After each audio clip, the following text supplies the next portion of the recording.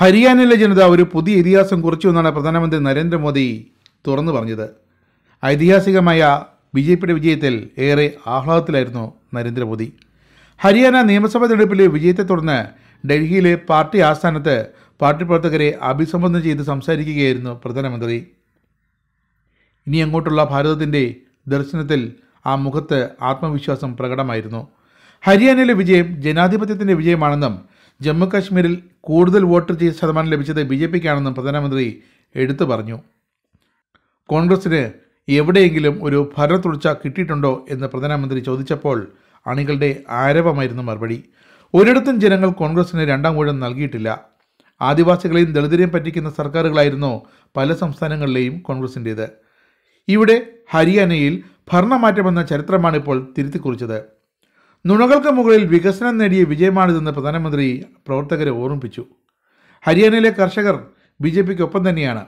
അവർ B J P വിരുദ്ധരാണെന്നും ഇത്തവണ അത് തെരഞ്ഞെടുപ്പിൽ വോട്ടായി പ്രതിഫലിക്കുമെന്നുമൊക്കെ ബി ജെ പി വിരുദ്ധർ വ്യാപകമായ പ്രചരണങ്ങൾ അഴിച്ചുവിട്ടിരുന്നു. അതൊന്നും വിലപ്പോയില്ല. ഹരിയാനയിലെ ദളിതരവരെ കോൺഗ്രസ് അപമാനിച്ചു. ജാതിയുടെ പേരിൽ കോൺഗ്രസ് ആളുകളെ തമ്മിലടിപ്പിച്ചു. രാജ്യത്തെ ദുർബലപ്പെടുത്തി. അധികാരമില്ലെങ്കിൽ കരയിലെ ഒരു മീനിന്റെ അവസ്ഥയാണ് കോൺഗ്രസിന് രാജ്യത്തെ ദുർബലപ്പെടുത്താൻ ഇറങ്ങിത്തിരിച്ച കോൺഗ്രസിന് ബി ജെ പി സർക്കാർ ചുട്ട മറുപടിയാണ് വികസനത്തിലൂടെയും പ്രതിരോധത്തിലൂടെയും നൽകിയതെന്നും നരേന്ദ്രമോദി ഓർമ്മിപ്പിച്ചു. ജമ്മുകാശ്മീരിലെ ബി ജെ പിയുടെ പ്രകടനത്തിൽ തനിക്ക് അഭിമാനമുണ്ടെന്നും പ്രവർത്തകരെല്ലാം അഭിമാനിക്കണമെന്നും നരേന്ദ്രമോദി ആഹ്വാനം ചെയ്തു. ബി ജെ പിയിൽ വിശ്വാസമർപ്പിക്കുകയും വോട്ട് ചെയ്യുകയും ചെയ്ത താഴ്വരയിലെ എല്ലാവർക്കും പ്രധാനമന്ത്രി നന്ദിയും അറിയിച്ചു. കാശ്മീരിന്റെ ക്ഷേമത്തിനായി ഇനിയും പ്രവർത്തിക്കുമെന്ന് പ്രധാനമന്ത്രി ഉറപ്പു നൽകി. ബി ജെ പി പ്രവർത്തകരുടെ പരിശ്രമത്തെയും അഭിനന്ദിച്ചു. കാശ്മീരിലെ തെരഞ്ഞെടുപ്പ് പ്രത്യേകത നിറഞ്ഞതായിരുന്നു. ആർട്ടിക്കിൾ മുന്നൂറ്റി എഴുപത് മുപ്പത്തിയഞ്ച് എ എന്നിവ പിൻവലിച്ച ശേഷം നടന്ന ആദ്യത്തെ തിരഞ്ഞെടുപ്പാണ് അത് വിജയം കണ്ടു എന്ന് നരേന്ദ്രമോദി പറയുന്നു. വോട്ട് ശതമാനം കൂടിയത് ജനങ്ങൾക്ക് ജനാധിപത്യത്തിലുള്ള വിശ്വാസത്തെയാണ് കാണിക്കുന്നത്. അതിന് ജമ്മുകശ്മീരിലെ ഓരോ വ്യക്തിയെയും അഭിനന്ദിക്കുന്നുവെന്നാണ് പ്രധാനമന്ത്രി വ്യക്തമാക്കിയത്.